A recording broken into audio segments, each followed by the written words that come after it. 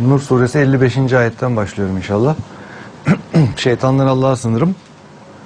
Allah içinizden iman edenlere ve salih amelde bulunanlara vaat etmiştir. Hiç şüphesiz. Onlardan öncekileri nasıl güç ve iktidar sahibi kıldıysa onları da yeryüzünde güç ve iktidar sahibi kılacak.